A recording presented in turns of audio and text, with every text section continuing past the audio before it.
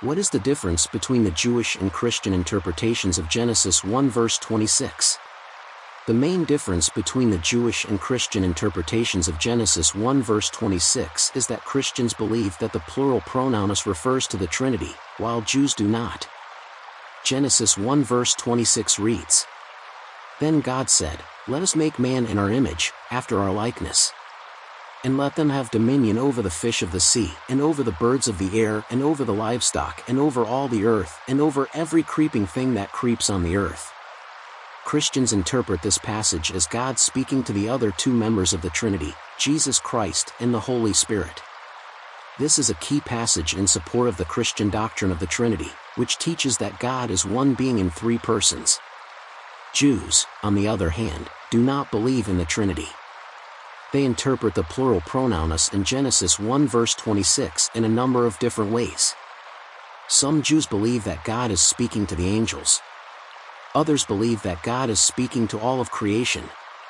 Still others believe that God is simply speaking to himself in a plural form to emphasize his majesty and greatness.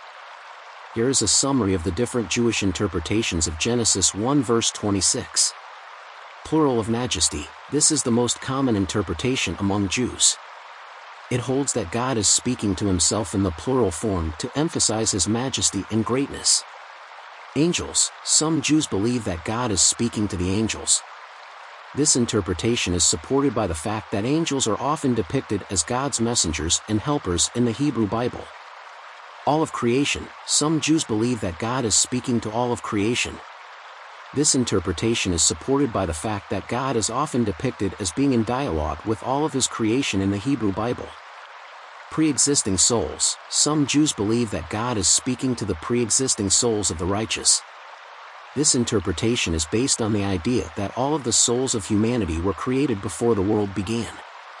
It is important to note that these are just a few of the many different Jewish interpretations of Genesis 1 verse 26 there is no single, definitive interpretation that is accepted by all Jews.